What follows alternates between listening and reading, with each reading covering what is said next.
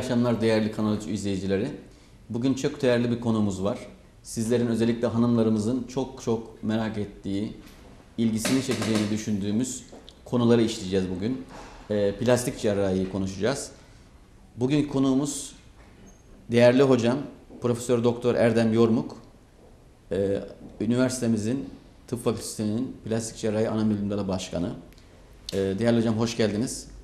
Ben hocama söz vermeden önce hocamı e, sizlere kısaca tanıtmak istiyorum. Aslında kendisiyle ilgili söylenecek çok şey var. Ama kendiyle ilgili konuşulmasını, övülmesini pek sevmez hocam. E, askerdir, asker kökenlidir. Deniz kuvvetlerinden emekli olduktan sonra değerli hocam geldi 1980'lerin başında Ankara Üniversitesi Tıp Fakültesi'nde plastik cerrahisini kurdu. Türkiye'nin ilk plastik cerrahi e, kliniklerinden bir tanesi oldu. Ve dolayısıyla şu an Türkiye'de bulunan birçok plastik cerrahi hocasının da hocasıdır kendileri. Ee, değerli hocamız e, eğitiminin bir kısmını İsveç'te e, yaptı kendi alanıyla ilgili olarak. E, tabii çok fazla sivil toplum kuruluşuyla ilgili çabaları, gayretleri var. Bunlardan en önemlisi Türk Interplast Derneği'nin kurucularından hocam. Bu dernek organizasyonlarıyla özellikle Afrika başta olmak üzere birçok e, fakir ülkeye, Sudan gibi ülkelere giderek oralarda doğumsal anomali sorunlarıyla ilgili ücretsiz operasyonlar yaptılar. E, hocam tabii ki birçok şey söylemek isterim ben ama e, programımızın tümünü müsaade ederseniz buna size ayırmayalım. Sizin söyleyecekleriniz e, tabii çok daha e, önemli. E, ama tabii sizin gibi değerlerimizi de izleyenlerimize tanıtmadan da edemiyoruz programımızın başında. Peki hocam şundan başlayalım. Plastik cerrahi sizin alanınız nedir? Nelerle uğraşıyor? Sadece güzellikle mi uğraşıyorsunuz? İnsanları güzelleştirmeye, kusurlarını örtmeye mi çalışıyorsunuz? Yoksa başka yaptığınız uğraşlar neler var? Ben biliyorum tabii ki de izleyenlerimize bunları bir aktarırsanız e, iyi olacak. Öncelikle iyi akşamlar. Anadolu'da bir laf vardır. Davet nezaket, icabet mecburiyet. Ben buraya mecbur olduğum için değil, Ankara Üniversitesi Tıp Fakültesi'nin bir öğretim üyesi olarak gelmiş bulunuyorum. Ve e, size, ekibinize çok teşekkür ediyorum. Biz teşekkür ederiz. Belki de baktığınızda ana bilim dalı başkan e, e, ana bilim dalları arasında en uzun isme biz sahibiz. Plastik, rekonstrüktif, estetik cerrahi. Bakıldığı zaman plastik nedir? Bilindiği gibi 20. yüzyılın başlangıcında sentetik bir madde olarak e, bulunmuş. Konstrüksiyon yapı malum, rekonstrüksiyon yeniden yapılandırma. Ama Yunanca kökenli olan plastiğin bir anlamı daha var. İşlemek, kalıp çıkartmak, yeniden imal etmek. Özellikle plastik cerrahide, kamuoyunda plastik cerrahi denildiğinde estetik cerrahi akla gelmek. Halbuki biz Taze yanık ve yanık sekellerinin tedavisi. Bir. iki El yaralanmaları, el cerrahisi ve mikrovasküler cerrahi. Üç. Memleketimizde çok sık karşılaştığımız maksilofasyal yani yüz, çene yaralanmaları, kırıkları, tümörleri, maksilofasyal cerrahi, doğmalı anomaliler memleketimizde de çok.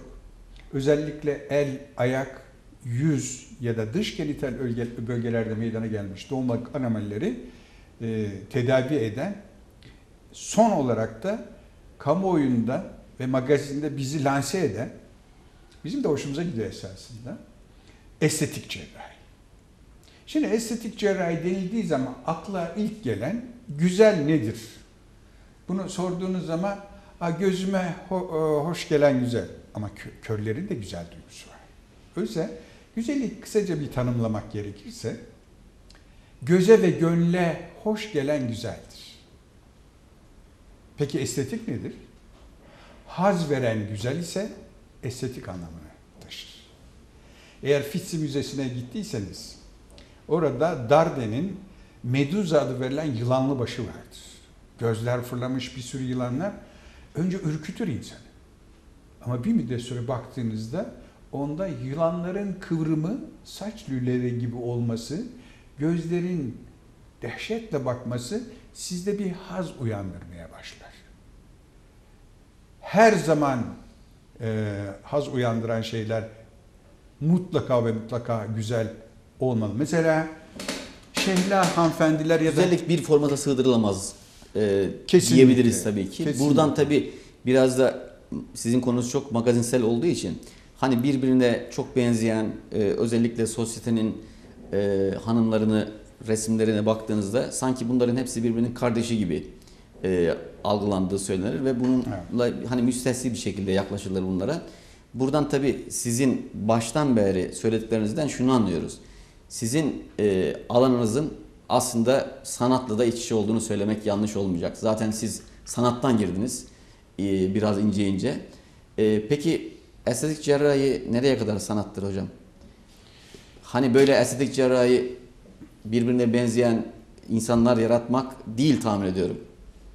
Konuya şöyle bakmak lazım. Salvador'un çok güzel bir e, deyimi var. Sanatçı karnında güneşle doğar. Eğer bir insanın içinde içsel güzelliğini yansıtacak yetenek yoksa asla ve asla estetik cerrahiyle uğraşmaması lazım. Artı her estetik cerrahın mutlaka ve mutlaka sanatın primer basamaklarını bilme zorunluluğu var. Bilir misiniz ki Yüce Tanrı kainatı ve insanları yarattığı zaman bir takım orantılarla yaratmıştır. Buna altın oran diyoruz. Çok basit anlamıyla altın oran 1,68 sonsuza giden e, kadar giden sayılar vardır. Ee, birim olarak aldığınızda bir ağacı dalın yaprağı oranı e, aynı zamanda ağaca oranıyla eşitlenecek olursa 1,68. İnsanda da böyle bir takım ölçümler var. Mesela bir insanın boyu, normal bir insanın boyu ellerini yana açtığı zaman parmak ucu mesafesi kadardır. Yine insan bakıldığı zaman omuz, leğen kemiği, diz ve ayak tabanı arasında birer düzlem düşünelim. Bu düzlemlerin ideal bir insan ölçüsünde birbirine eşit olması lazım. Evet. Tabii yüz çok önemli olduğu için yüzde de bakın enteresan e, veriler var. Bir burunun yüksekliği yüzü dik doğrultuda üç eşit parçaya bölmesi gerekir. Yani bende çok arkalarda saçlı deri başlangıcı burun kökü, burun kökü burun ucu, burun ucu çene ucu mesafesinin ya da uzunluğunun birbirine eşit olması lazım ve bu uzunluk bir kulak büyüklüğünde olması lazım. Yüce Rabbim böyle yaratmış. Ve daha enteresan bir şey, bir burnun yüz düzlemiyle oluşturduğu 23 küsur derecelik açı, bakın kulağın yan oblik diyoruz biz ona, doğrultusuna paraleldir. Bu da bilir misiniz dünyanın dönüş aksı kadardır. Acaba Tanrı'yı yaratan, ulu yaradan güzelliğini görmek için mi insanları yarattı? Çünkü insanoğlu doğumu ile ölüm arasında bütün yaşamınca kendini beğenmek ve beğendirmek çabası içerisinde kıvranır durur. Hocam sizi dinlerken ben kendimi kaybediyorum. E, programı yönetmekten aciz hale geleceğim. Estağfurullah. Müsaade ederseniz e, birazcık böyle felsefi detaylara girmeden e, Hay hay. Siz sorun ben söyleyeyim. Direkt e, konumuza girelim hocam. Şimdi plastik cerrahinin çok kısaca ben sizden tarih sesinizi rica edeceğim. Onun ardından da özellikle baş boyun bölgesi plastik cerrahinin sanırım en çok uğraştığı alanlardan bir tanesi. Oradan başlayıp vaktimiz e, oldukça diğer alanlara doğru kayalım müsaadenizle. Buyurun hocam. Şimdi magazinsel konu olan estetik cerrahi sanıldığı gibi pek de yeni değil. Milattan önce 2500 yıllarındaki Hermetizm felsefesinde ki bunu biliyoruz Mısır medeniyeti. Eğer biraz merakınız varsa lahitlerin üzerindeki masklarda üst ve alt göz kapağında kırlangıç kan kuyruğuna benzer izler vardır. Ta o zamanlardan yapılmış blefroplasti biraz sonra bahsedeceğiz kısaca. Blefroplasti ta o zamanlarda başlamış. Ve ilginçtir. Dikiş materyali olmadığı için aç köl, çöl karıncalarına ısırtıyorlar yara dudağını ve bugün günümüzde kullandığımız modern agraf oluyor. 11. yüzyılda bakıldığında özellikle Arapların, Arap cerrahların hurma dallarından küçük ince kıskaçlar tabir yerindeyse mandalları yaparak fazla göz derisini sıkıştırıp orayı öldürüyorlar ve gözlere hep sürme deriz halk arasında. Çok. Esasında o sürme izleri gizlem amacıyla, gözlere derinlik verme amacıyla, gözlere güzellik verme amacıyla uygulanan bir şey. Yeri gelmişken e, tabii anlatılacak çok eskide olay var. Vaktimiz kısa olduğu için hepsine değinmeyeceğiz. Yüz gönlün ve e, yüz yüze konuşan insanların aynasıdır. Ve gözler sözlerden çok daha etkilidir. Birisiyle karşılaştığınız zaman önce göz göze gelirsiniz. Sonra merhaba dersiniz. Söz söze gelirsiniz. Sonra elinizi uzatırsınız, el ele gelirsiniz. Öyleyse başlangıç insan olduğu için gözlerle başlıyor. Gözler sözlerden çok daha etkili. Mim sanatı var. Sadece göz ve mimik hareketleriyle ortaya konular. Peki gözle ne yapıyorsunuz hocam? En çok yapılan işlem nedir? Şimdi Plastik cerrahide gözle. Zaten gibi doktorlar ya da sahne sanatkarları ışığa karşı devamlı işlev yapanlar mesleğini güneşte denizci ya da bahçıvan, çiftçi gibi insanlar süratli alet kullanan, motor kullananlar da gözlerin devamlı kısılması sonucunda gözlerde burada şeyimiz var bizim. Göz kenarlarında bir takım çizgiler meydana geliyor ve bu çizgilere biz e, biraz sonra göreceğiz e, yaptığımız işlemle dışarıya doğru fıtıklaşmış olan yağ ve sarkmış deriyi ameliyatla tedavi ediyoruz. Bakın Buradan görüyoruz. ameliyattan 3 hafta sonra, ameliyattan 5 sene sonra. Pardon. Bakın yine önden görecek olursak alt göz kapağında bir e, torbalanma var evet. minik. 3 hafta ve 5 sene sonra.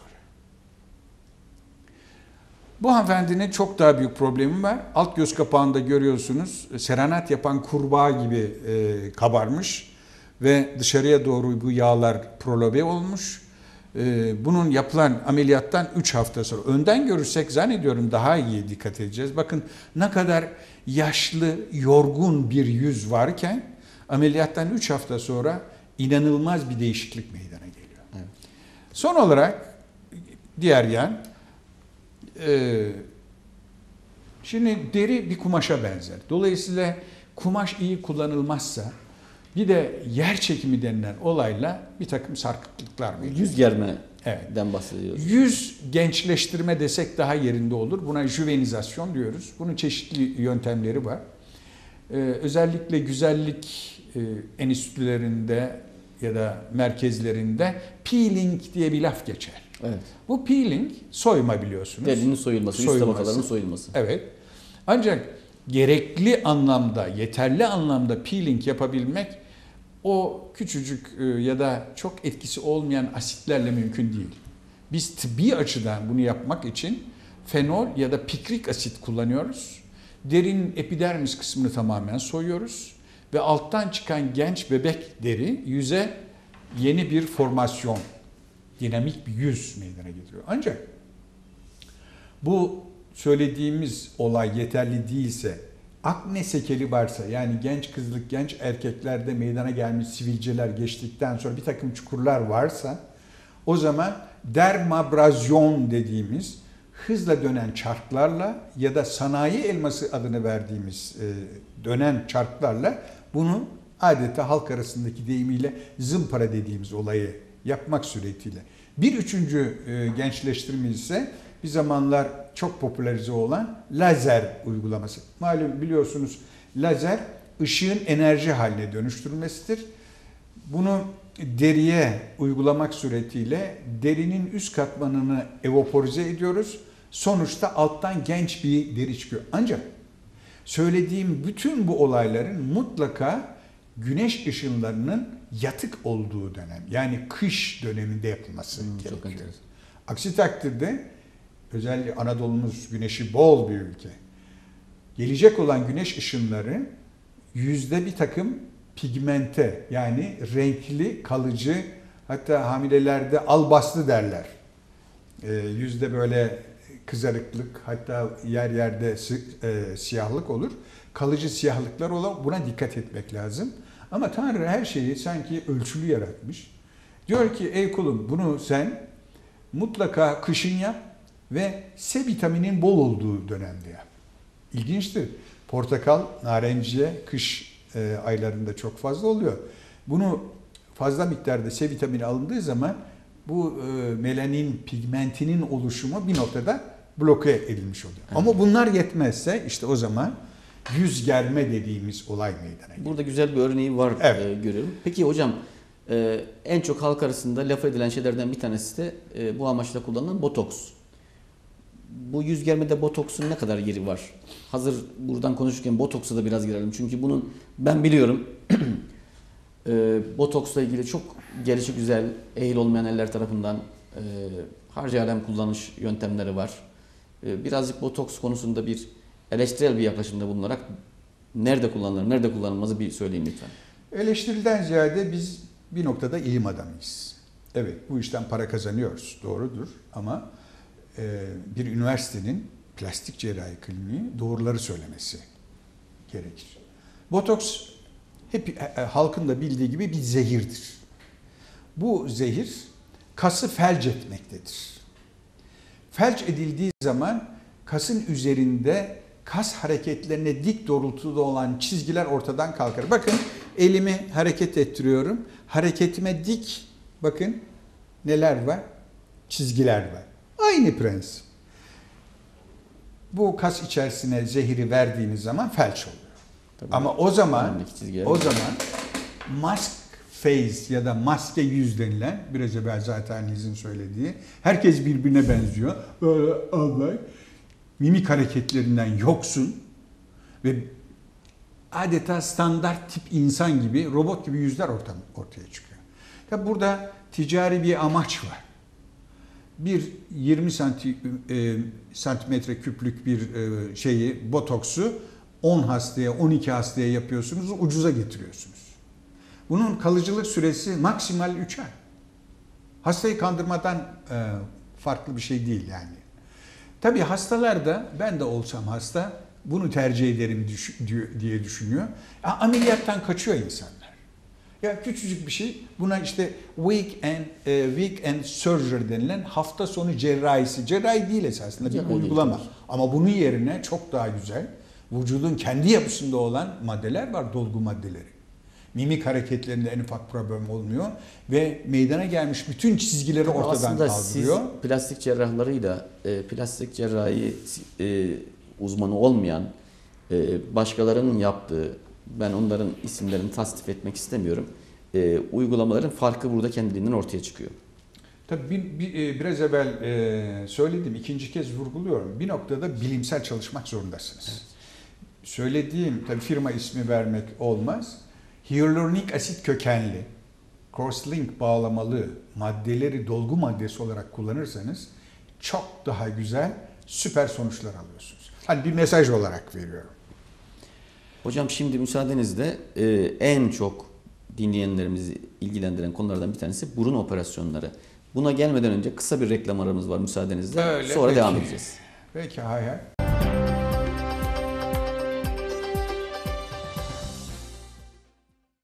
Evet sevgili hocam çok güzel gidiyorduk. Kaldığımız yerden devam edelim. Burun operasyonlarına geçelim. Estetik burun operasyonları. Sizin elinizde çok güzel örnekler var. Kimlere burun operasyonu yapılmasını tavsiye ederizden e, başlayalım. Kimlere tabii ki tavsiye etmiyorsunuz. E, bununla ilgili çok önemli hassas noktalar olduğunu ben biliyorum. Onlara da lütfen değinin. E, Evet. bu çok yine istismarı yapılan konulardan bir tanesi burun operasyonları. Yine burun operasyonları kimler yapar? Bazen hani burada kulak burun boğazcı meslektaşlarım alınmasınlar bu sorum ama onlar nereye kadar bu işleri yaparlar? Siz e, nereden sonrasını yaparsınız? Bunların bütününü anlatın lütfen. Evet. Şimdi Tanrı yüz bölgesinde en çıkıntılı e, olarak burnu ve burun üzerine söylenmiş çok şey var. Örneğin Antonius şöyle diyor. Kleopatra'nın burnu küçük olsaydı dünyanın yüzü çok daha sevecen olacaktı. Napolyon'un enteresan bir lafı var. Bizim Karadenizli halkımıza uyuyor. Titiz, çalışkan adam seçecekseniz burnu sivri olanları seçiniz. Enteresan. Benim asistanlarımdan birine verdiğim bir tez vardı. Türkiye'deki burun tipi neye uyar diye Türkiye'yi bölgecilik olmasın diye dörde böldük ve rastgele 250-250 kişi toplam 1000 kişi üzerinde burun profili, e, profilini inceledik. Karşımıza Asur burnu çıktı. Bakın 1071'de girdiğimiz bu topraklarda biz genetik formasyon olarak Asur burnunu kabul etmişiz. Güneydoğu Anadolu'ya bakın, kuzeye bakın. Asurların yoğun yaşadığı yerlerdeki insanların genetik formasyonu. Dolayısıyla burun insanın görünümünü özellikle değiştiren ama her ırka göre farklı olan. Biraz evvel e, siz de bahsettiniz Kenya'da çalışırken o bu kocaman burunlar görseniz karşılaştığınızda korkarsınız ama didişi onu gördüğü zaman aşık oluyor. Demek ki burun toplumlara göre değişiyor. Mesela şu hanımefendinin e, gördüğünüz burnu çok büyük, kocaman. Ameliyattan sonra görüyorsunuz normal bir burun elde. Yüz ifadesi tamamen değişmiş burada bakın. Evet. Kızılderili'ye benzeyen bir hanımefendi bakın ifade olarak ameliyattan burada başka hiçbir ameliyat yok. Blefroplasti yok, yüz germe yok. Sadece bir burun ameliyatı ama bir küçük hilemiz var. Ameliyatlardan önce makyaj yaptırmıyoruz. Ameliyattan sonra küçücük fotoğraf çekerken bir makyaj oluyor. Ama makyaj bir kenara görüyorsunuz yüzü nasıl değiştiriyor?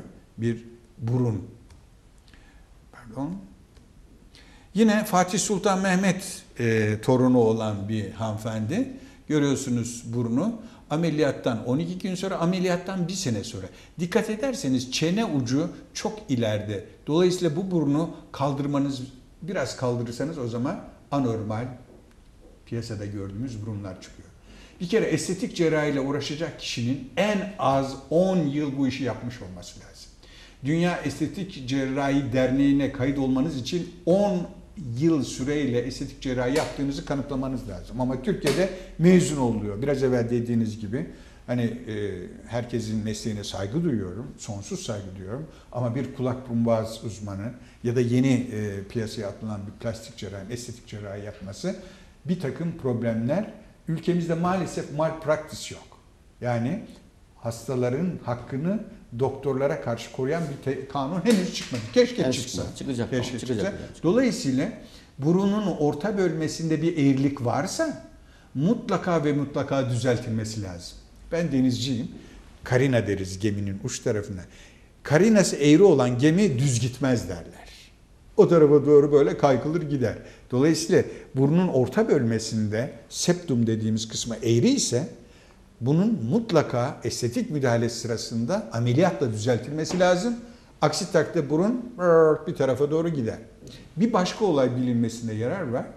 Burun ameliyatı, estetik burun ameliyatı 18 yaşından sonra yapılır. Diyeceksiniz ki niye hocam? Çünkü Tanrı her organa bir büyüme merkezi ve yaşı vermiştir. Bir kulak 7 ile 9 yaşında büyük insan kulağına ulaşır. Ama burun için 18 yıl geçmesi, çene için 24 yıl geçmesi lazım. Bundan önce yapacağınız müdahalelerde burunda başlangıçta çok güzeldir ama 2 sene sonra burun tekrar e, bozulur. Bir soru da şu, Şu hocam çok affedersiniz. Şimdi bu son vakada e, onu söylemeden e, geçmeyelim müsaadenizle. Hep e, burunuyla ilgili kompleks yaşayan kişiler e, kendilerine bir prototip burun edinmişlerdir. Sizin sözünü ettiğiniz ölçüler çok önemli. O ölçüleri hiç göz önüne almadan e, hemen size o burunla gelip onun ameliyatı yaptırmak isterler. E, Ama böyle bir şey yok. muyum? Böyle bir şey yok. böyle bir- benim açımdan yok. Evet. Biz, yani e, Yani estetik cerrah orada sanatını göstermeli, Tabii. koymalı, ölçüleri anlatmalı Plastik hastaya. cerrah kiralık bisiklet değildir. Al para yap bunu böyle bir şey yok ama bunu yapanlar da var. Yani siz Dolayısıyla- şurada söylediniz burada Evet. burnun e, çenesi uzun olduğu için bu vakamızın Şimdi e, profiloplasti dediğimiz olayı şimdi size e, pardon geri gittik. Bakın erkekler de travma geçirdiği zaman ameliyat bakın bu iki insan aynı ama arada büyük fark var. Bunun başka bir olayı da e, kanun nedeniyle yüz çehresi değiştirilecek insanlarda yap- yapılan ameliyatlardan birisi. Yani e, şahit olarak gizli eğer bir çehreye sahip olacaksa ameliyatlardan birisi bu. Evet. Dolayısıyla burun ameliyatlarını mutlaka e, septumunu da plastik cerrahın yapması gerekir. Kamuoyunda çok sık sorulan bir soru daha var hocam. İzninizle onu Tabii da ki, buyurun. e, söyleyeyim. Açık burun ameliyatı bir de kapalı burun ameliyatı. Bir kere bu işi çok iyi bilen insanın açık buruna ihtiyacı var. Şimdi buradan kesiyorsunuz, burada da iz kalıyor, kaldırıyorsunuz. E, supratip swelling dediğimiz olay meydana geliyor. Dolayısıyla bu işi e, prensibimiz bizim 2F kuralı, form ve fonksiyon. Plastik cerrahlar karda yürür, her konuda izini belli etmez. Peki hocam. Peki bu noktadan sonra hemen hızlı hızlı diğer konulara geçelim. Dediğim Geçelim. gibi çok güzel görüntüleriniz var. O görüntüler eşliğinde anlatmaya e, devam edin siz. Kepçe kulak Evet. e, ameliyatlarına geçelim hocam. Şimdi e, Yine en çok rahatsız eden insanları rahatsız eden. Diyeceksiniz ki ameliyat olma. Bir anıyla hemen bunun önemini şey yapacağım. İsim vermeyeceğim. Ee, iyi bir ailenin kızı haşin çehreyle geldi. Böyle adeta sizle kavga edercesine muayene sırasında kulaklarının arkasının yara olduğunu gördü. Anne babasını çıkarttıktan sonra kızın ifadesi şu. Diskoteye bile gidemiyorum. Japon yapıştırıcısıyla yapıştırıyorum. O evladın ruhunda çünkü estetik cerrahi psikiyatriyle cerrahi birleştiren dünyadaki tek daldır. Doğru. Bedensel kusurun insanın ruhunda yarattığı problemi biz bıçağımızla, sanatımızla ortadan kal. Bakınız kepçe kulak ameliyattan önce sonra, arkadan görelim ameliyattan önce sonra. Şimdi bir de şu var. Sadece profiloplastide e, burun ameliyatımı bakın şurada hanımefendinin saç modelini bile aynı yaptırdım. Şurada e, burun biraz şey, çene arkada. Bu hanımefendiye rinoplasti yapılmış ve çeneyi de büyütme ameliyatı yapılmış. Bakın. Orantıyı tabii korumak gerekiyor. Tabii konu çok uzun ama biz hızla Evet, geçiyoruz. Evet şimdi e, sanırım memeye geldik hocam. Evet. Meme yine e, diğer önemli estetik cerrahinin konularından bir tanesi. Doğru. E, burada da çok söylenecek şey var. Hızlı hızlı, hızlı lütfen mesajlarımızı verelim hocam. Şimdi 1960 yılından bu yana meme büyütme için silikon meme protezi kullanılıyor. Kamuoyunda bir takım şüpheler var. Bir, meme protezi kanser yapar mı? 1960 yılından günümüze kadar meme protezinin, silikon meme protezinin kanser yaptığına dair bir bulgu yok. Endişe edilmesin. İki, meme protezi konulan hanımefendiler... Patlar mı diyorlar mesela hocam? Böyle bir Şimdi şeyler. eski eski protezlerde patlama riski vardı. Ama şimdiki protezler coadhesive gel biraz evvel gösterdik. Ee, eskiden sıvı silikon vardı içinde ve mesela uçakta kabin içi basıncı e, şey yaptığında şişerek patlayan protezler literatürde var. Ama günümüzdeki içi lokum kıvamında. Afyon e, kaymağı ve lokumu meşhurdur biliyorsunuz. Onun kıvamında dolayısıyla patlaması hatta kesici, delici bir alet girse bile onun ortaya akması diye bir problem yok. Eskiden 10 senede bir değiştirilmesi gerekiyordu. Çünkü protezin etrafında proble- problem oluyordu. Bağ dokusu gelişiyordu. Şimdi o da kalktı. Bakın ameliyattan önce, ameliyattan sonra yağda kurulmuş yumurta gibi bir e, şey meme görüyorsunuz. Hani yumurtayı kırarsınız da tavaya sarısı vardır. Bakın bu bir sanatkar hanımefendi. E, ameliyattan 3 ay sonra. Evet. Bu istenilen büyüklükte e, ya kas altına konuluyor yani göğüs kasının altına biz ona pektoral istiyoruz. E, ya da e, meme süt veren bezlerin altına. Şu unutulmasın ki uygun yapılan meme büyütme ameliyatlarında asla ve asla annenin süt vermede problemi olmaz. Müşteri olsunlar, Bu da çok sorulan sorularımızdan. evet rahat olsunlar. Evet. Bakınız şimdi geçiyoruz büyük memelerin küçültülmesi. evet. Bazen taşınamayacak boyutlara geliyor ve hakikaten dişi rahatsız ediyor. Çok ciddi sağlık sorunu yapar. Tabii. Sırt ağrıları vesaire. Biz şunu diyoruz. Memeler e, yavru için doyum, kadın ve erkek için oyun malzemesidir. Yani kadının sekonder seks karakteridir. Kadının güzelliğidir bir noktada. Hatta e, geçmişte e, meme polimasti denilen bereket tanrıları vardır. Büyük, çok aşırı büyük memelerin meme küçültme ameliyatı yapılmak suretiyle küçültülmesi mümkün. Hanımefendide görüldüğü gibi. Bakın ameliyattan sonra başka bir e, hanımefendinin görüyorsunuz şurada belli belirsiz bir iz var. Heh, burada iz riski var mı? Var. Evet. İz riski olacaktır. Ama memenin güzelliğini görüyorsunuz. Çok rahat bir hale geliyor. En azından kendine özgüveni doğuyor Evet. insanların.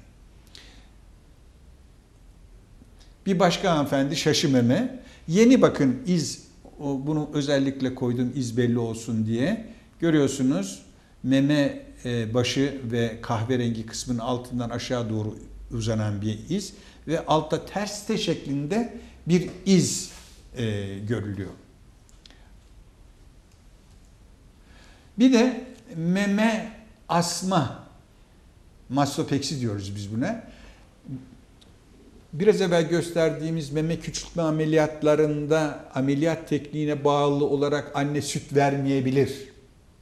Ama mastopeksi dediğimiz memeyi asma, memeyi kaldırma ameliyatında süt vermede problem olmaz. Hı hı. Bu da bir şans. Evet. Bakınız adeta bir lor peynir torbasına dönmüş meme. Sadece deri kısmında yapılan ameliyatla ideale yakın ki ideal hep ben onu söylüyorum. ideal bir meme Ankara armudunun yarısına benzer. Yani temelde geniş, öne doğru çıktıkça tüver işte e, ona benzer bir meme.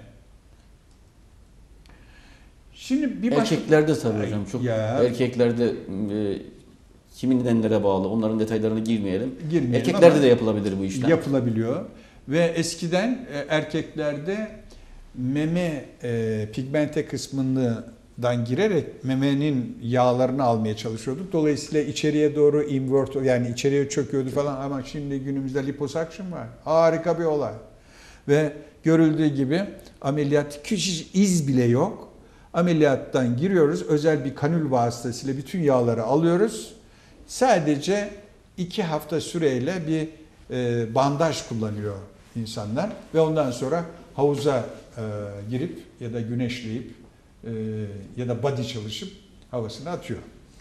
Peki biraz daha aşağı doğru karın germeye Evet. hocam. Şimdi e, gıdalar ağızda 3 dakika, midede 3 saat ama karın ve kalçaya gelince 30 sene kalıyor. çok güzel öyle. Dolayısıyla e, hani apartman gibi hanım derler ya bakınız kaç kat neredeyse e, şöyle bakınız 1, 2, 3, 4 katlı bir hanımefendi. Evet. Yapılan olayda dermolipektomi dediğimiz deri ile birlikte yağ alıyoruz. Tabi burada mutlaka Şimdi böyle bir vakada liposuction mesela yapılmaz değil mi hocam? asla yapılmaz. Bu niye e, Hastanın kandırılması anlamına geliyor yapılırsa. eğer. Artı bir de hastaya bunu açıkça söylemek lazım. Bu neye benzer? Lor peynir e, torbasının içinden biraz daha peynir alırsanız o biraz daha sarkacaktır. Evet. Ama liposuction eğer derinin yapısı, yapısal özellikleri uygunsa çok iyi sonuçlar verir. E, bakın kocaman bir karın yaklaşık 10 kiloya yakın yağ alındı bu hanımefendiden İstanbul'dan gelen bir hanımefendi. E, Şurada gördüğünüz gibi altta şu yeni göbek, altta e, bu sezeryen kesisine benzer bir kesi var. Bir müddet sonra o da ortadan kalkıyor. Ama bu arada karının ön duvar kaslarının mutlaka yan yana getirilmesi lazım. Hmm. Biz jimnastiği sevmeyen bir ulus olduğumuz için doğumdan sonra kesinlikle jimnastik yapmıyoruz. O kaslar kenara doğru gidiyor ve karın çıkıyor. Doğru. Yapılacak olan bilinçli ameliyatta mutlaka o kasların da yan yana getirilip onarılması gerekiyor. Biraz evvel liposuction dediniz. Peki gebe ge, onu oraya Evet. geçmeden hocam gebe e, bu ameliyatlardan sonra karın germe ameliyatlarından sonra gebe kalabilir mi hanım? Kalabilir ama kendisine biz bunu söylüyoruz. Çünkü karın genişlediği zaman bir takım e, deride çatlaklar meydana geliyor. Biz bu çatlakları e, abdominoplasti ile ortadan minimalize ediyoruz ama tekrar karın gerildiğinde e, teknik olarak hamile kalır ama ideal olanı artık e, hamile kalmayalım kararını Noktasından verdikten sonra sonra, Bu işlemi e, yapmak yapılmasında lazım. yer Devam edelim hocam. Evet. Hızlı bir şekilde. Şimdi biraz evvel söylediğiniz liposuction, işte liposuction. Bir tek örnek gösteriyorum. Kalçaları kilot pantolon gibi hocam olan son bir 5 hanımefendinin- dakikamız kaldı.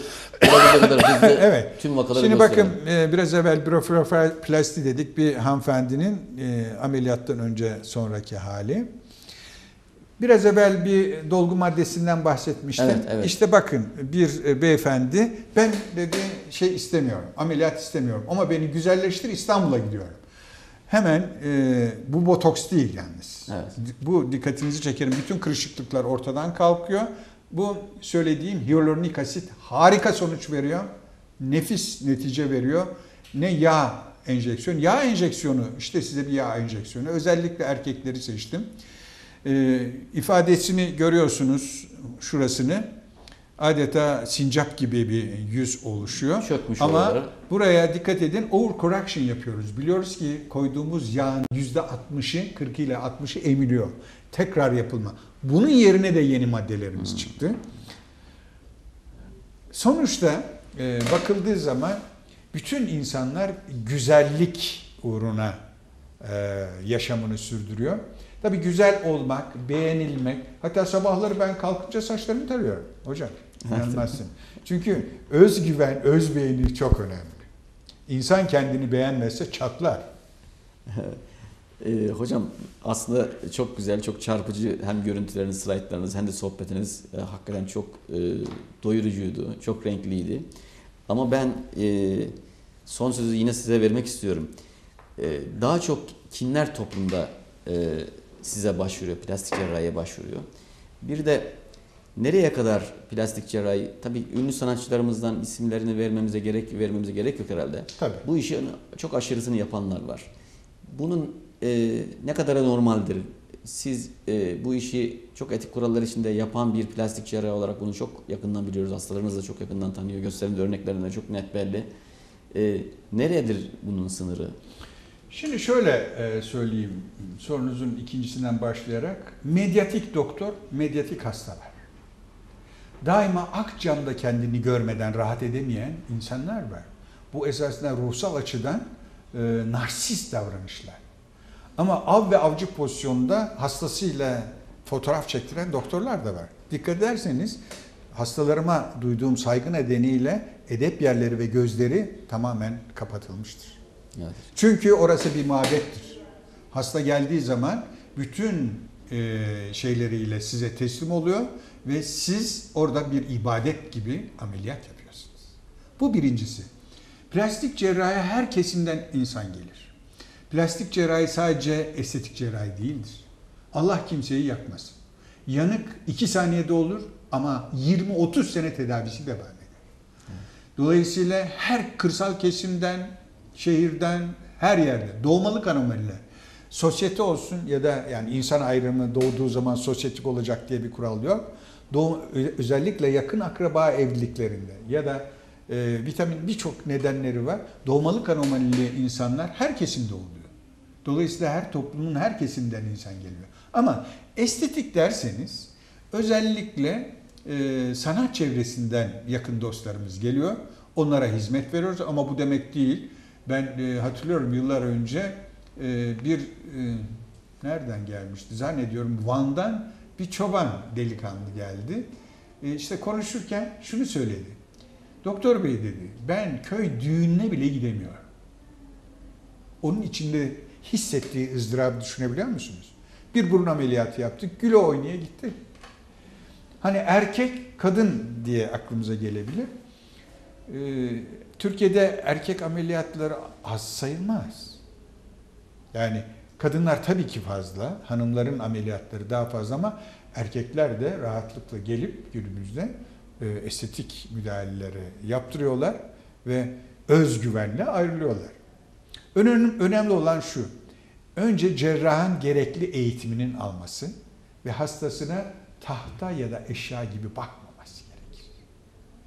Para tabii ki kazanılacak. Ama yarattığın eserden keyif almak mecburiyetim var. Mimarın eser, e, eserleri ömür boyu kalır ama plastik cerrah da bir mimar. İnsan mimarının eseri toprakla ortadan kalkar hocam. Hocam bu çok güzel sohbetiniz ise çok teşekkür ediyoruz. Hocamın sohbeti gördüğünüz gibi çok renkliydi. Kendisi de çok yönlü, çok renkli bir e, hocamız. E, umarım sizler de memnun olmuşsunuzdur bu e, akşamki programımızda. Bir dahaki haftaya aynı saatte yine görüşmek üzere. Hoşçakalın.